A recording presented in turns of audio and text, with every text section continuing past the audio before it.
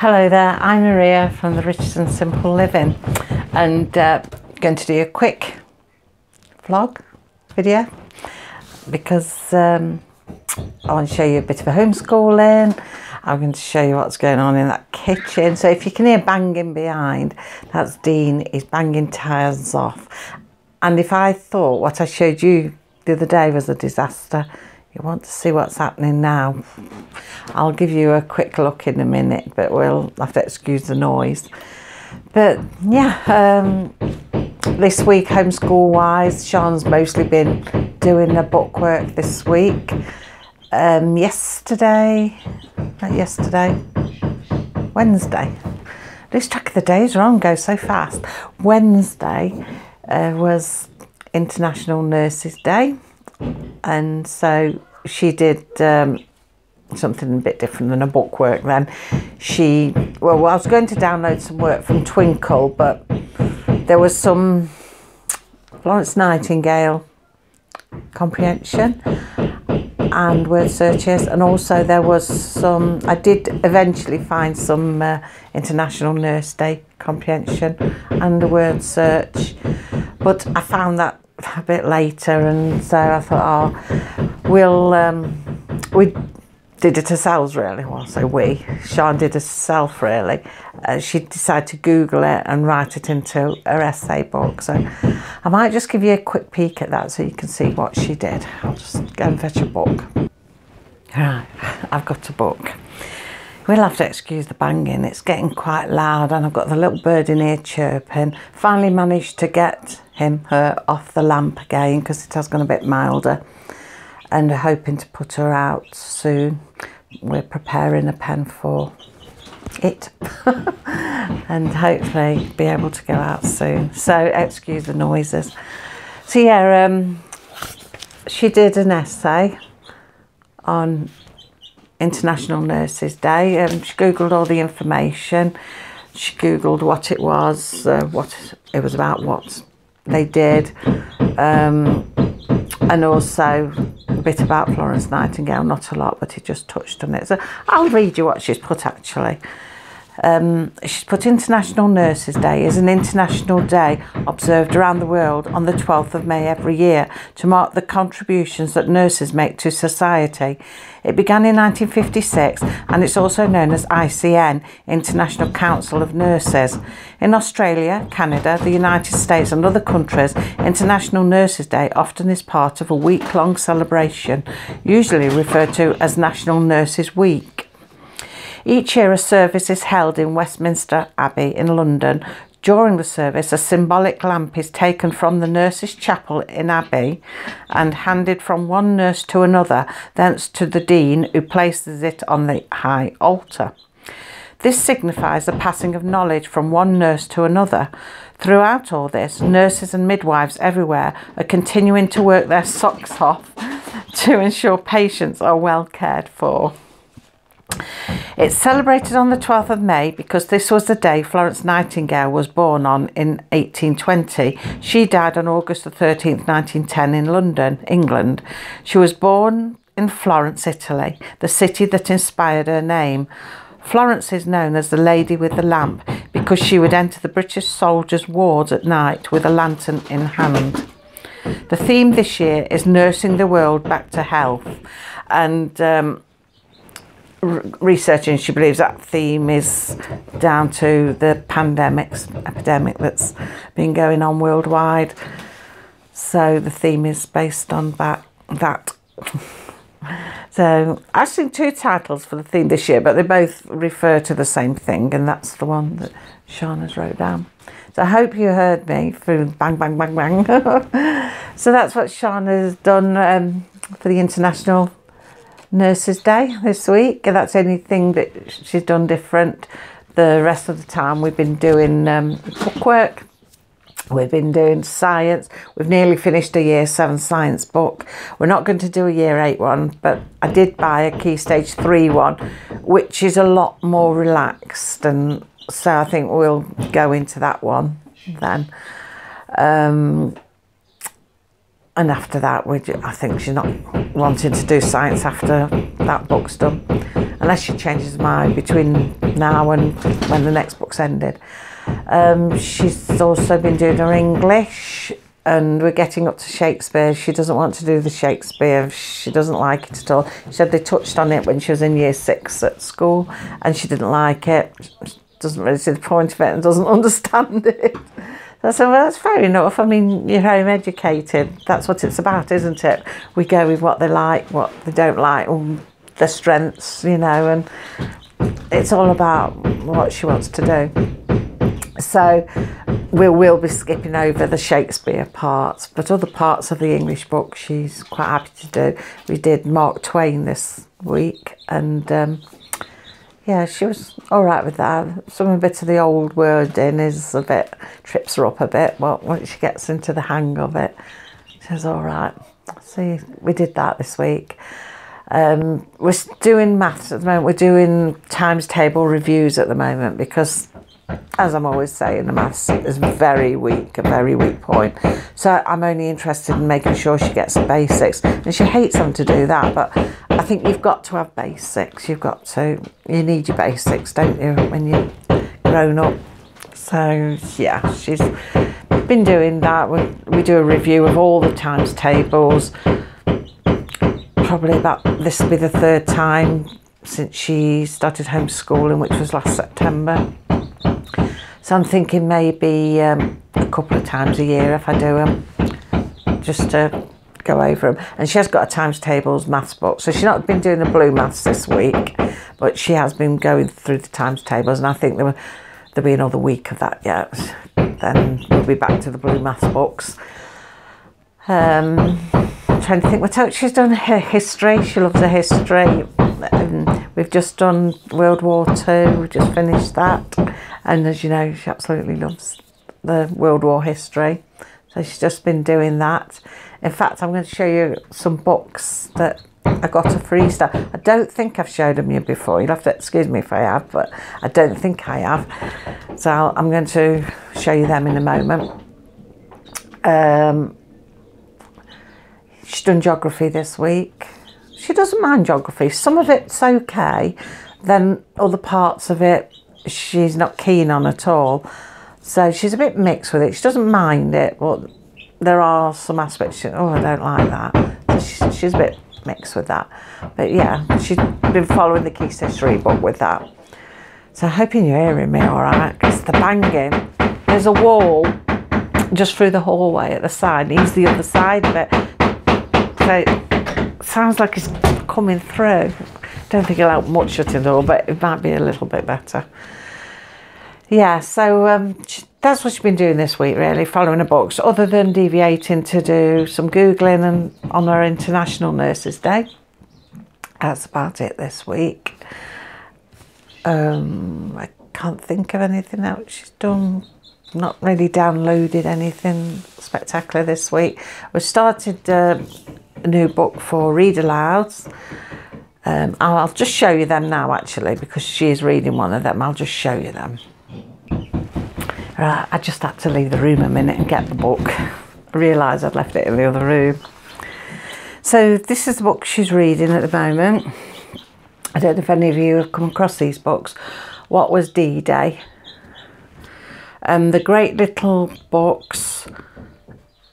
Um, I don't know what age group. I'm trying to see what age group. Not that age group matters, but she's got a marker and she's been reading a couple of chapters at a time. But it tells you all basically what was D-Day goes into the details of it and the history and it's nice because it's got some proper pictures at the back it's nice old photos at the back likes the one there because they're so um, real you know she likes them so that's the book she read, and She said to me, because we'd finished the Carrie's War, she said, Can I read my What Was books? And I'm like, Oh, if you must. I'm bringing you down a bit. I feel too high up, Philly. So, yeah, um, we've started on that. We've nearly finished that because, as you can see, they're only little, but they're great. So, next, she's going to read The What Was Pearl Harbor. Again, not a big book, great for um, educational to teach them what they were. I don't think this has got any photos in them.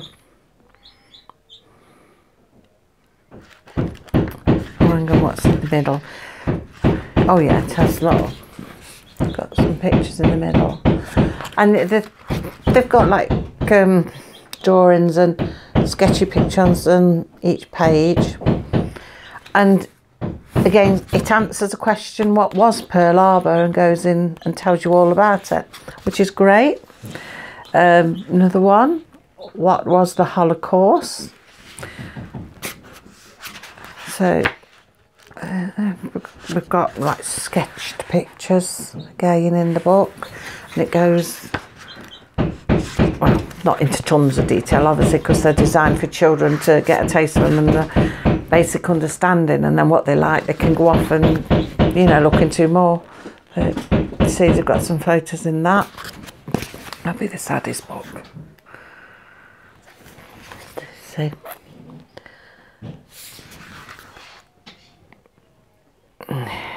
Told you about that. I'm dreading her reading that to me. Um, where are we? And then she's got what was the bombing of Pearl Harbor. And again, I don't know if I should have some pictures. And what I like about them, there's timelines on the back as well. Timeline things happened in, which is quite good. Oh yeah, picture of Hiroshima today. Some say Hiroshima. I have always said Hiroshima. I don't know which is right.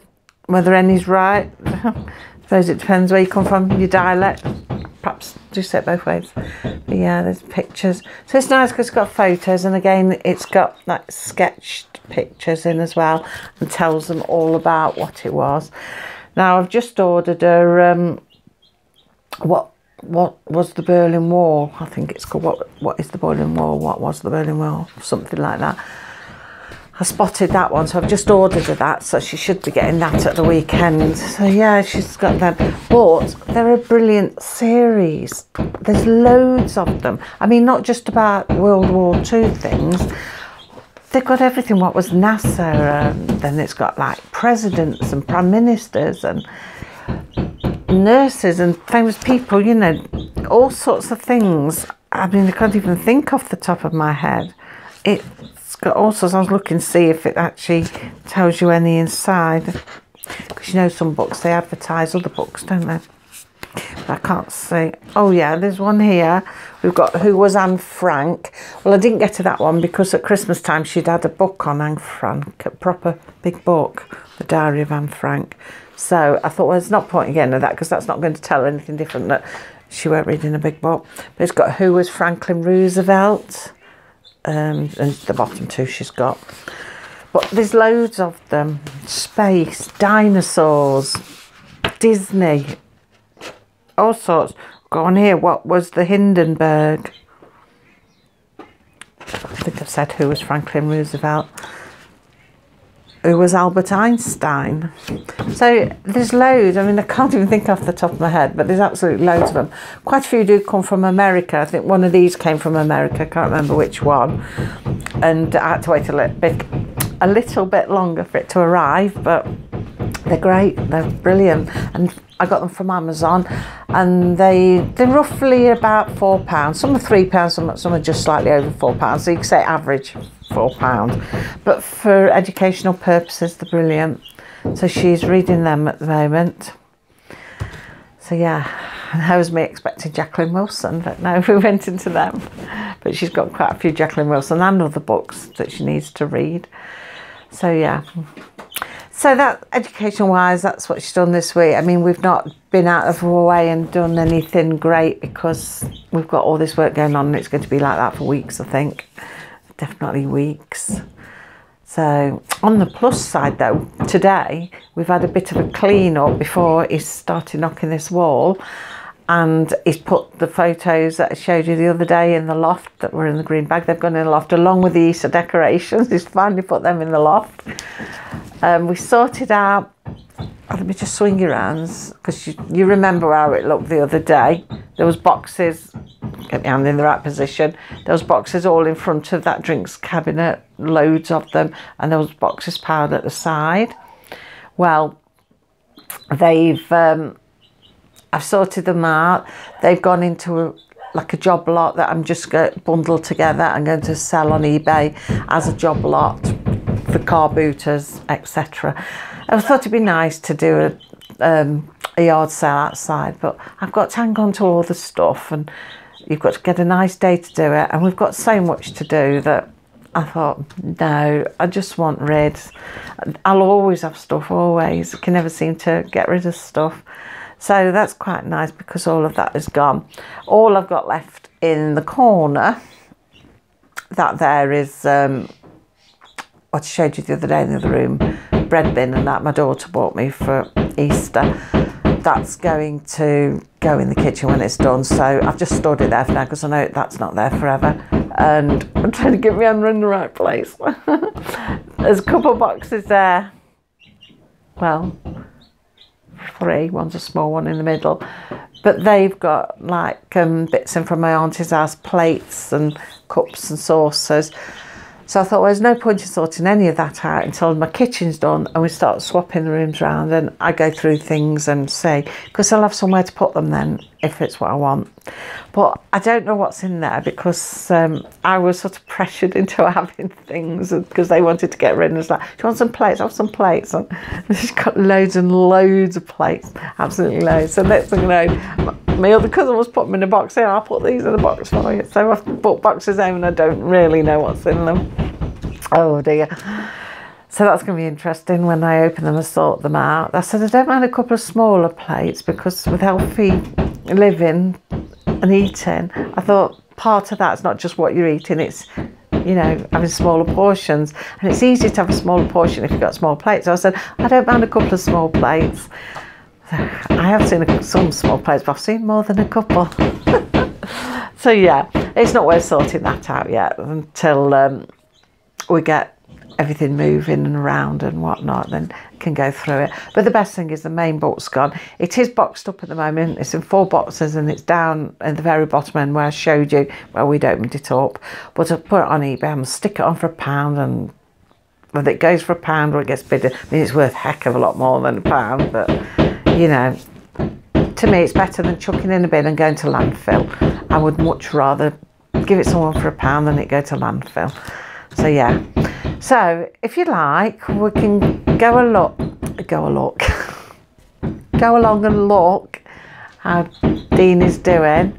And I'm going to show you the wall. You'll have to excuse the noise. I mean, even if I talk, I don't know if you'll hear me above the banging. I don't know if you can hear me now. Um, I'm going to have to check it out before I upload you. Upload you, upload me. so we'll go and see. We'll just go along and I can show you what's happening. Right, I don't know how well you'll be able to hear me or how well you can see. Um, see he's coming off there. Actually, there's a big hole below. Can you just put your hand in where the hole is, Dean, so people can sit there see. It's gone to the plasterboard on the other side of the wall, which is in the hallway. But it seems like um, that area is not doing too bad. Now, if it, the rest of it goes like that, we'll be laughing, but I don't know. But if I can show you, I don't know, well, the cookers in the way.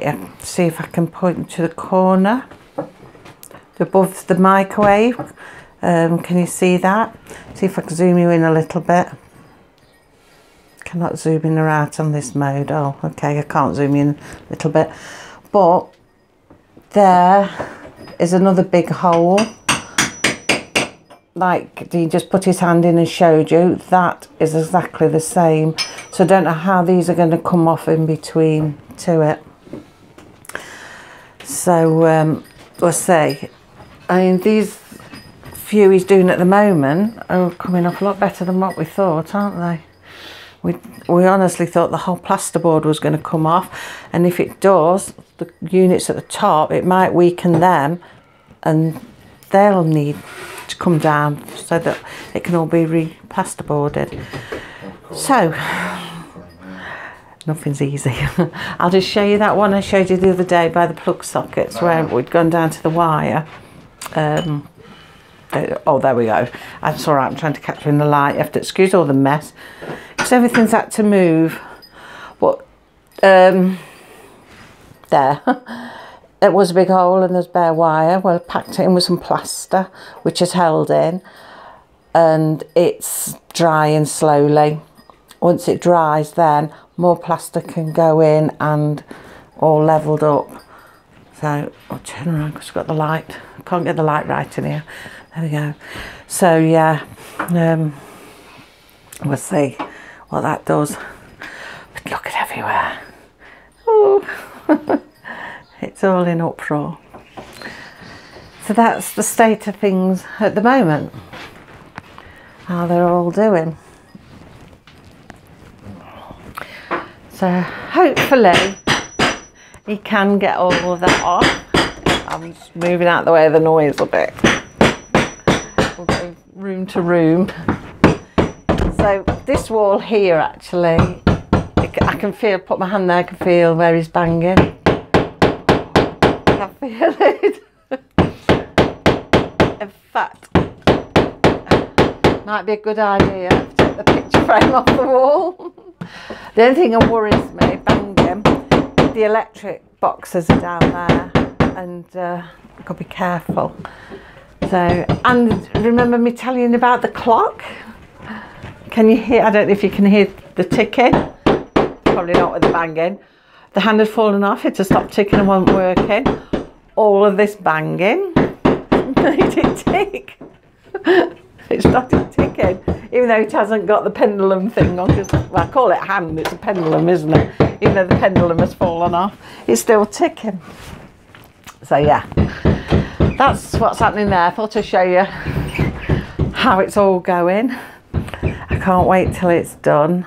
So I don't know if I told you I'd ordered paint for the worktop. I was going to put new worktop in, but I found some paint and it's um, over from America. So I've ordered this paint. This cost me £100, but it's specially designed for worktops and it's got excellent reviews. There's no bad reviews whatsoever, and there's plenty of reviews. So we're going to give that a whirl because, as I told you, we're going to paint the cupboard. So I'm hoping now tomorrow that I might go and get the paint for that because we got held up this week because of how everything's going in the kitchen. So some of that wall will have to be replastered, obviously. Some of it will have to be, but we'll see how it goes, see what happens now and what we can do with it. Stress. I said, I'm very stressed. Everybody was saying, go out the room, go. Take your mother out of the way. She's getting stressed. It's like a bomb about to go off and I get stressed.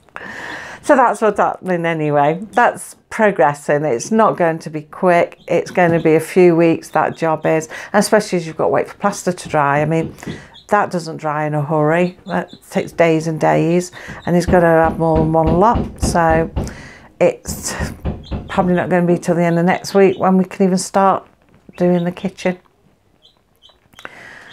so that's that.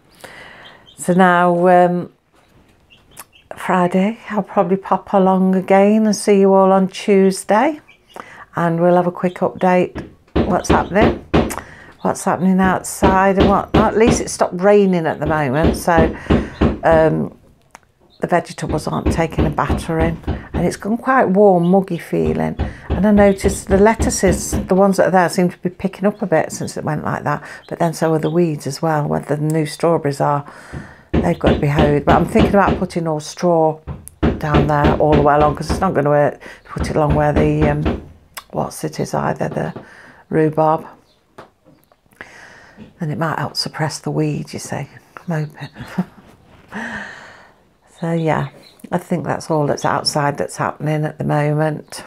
Um, nothing else is happening out there. I've ordered a couple of, um, you know, like the polytunnels I've got out there. I've ordered a couple in netting because I want to put them at the end because we've got like a double one at the end that we've done with polythene ourselves but it keeps dipping in the middle when it rains it's catching all the rain and it's pulling and the leaks at the end are getting a bit squashed down so I thought oh, I'd get some netted one and also the reason I got the netted and not more of the poly was because uh, the rain doesn't get in through the polytunnel one it it just doesn't go through because it's flat plastic and you've got to water it underneath. So I thought if I get the netted one, not only does it keep it warm and the pests out as well, but the rain can get through. So I thought, oh, I'll get a couple of them beans I want to replace the one and see how it goes. So anyway, I'm going to go or I'll be waffling all day. I've shown you what Sian's been doing this week. You've seen the disasters in the kitchen now. That's progress and I'll keep you updated with that. We'll keep having a look at that. And also um, the gardens are going okay and everything. So I've told you about that. So anyway, I'll catch up with you on Tuesday and we'll see what we've got to show you on Tuesday. So have a good weekend, everybody, and take care of yourselves. Bye.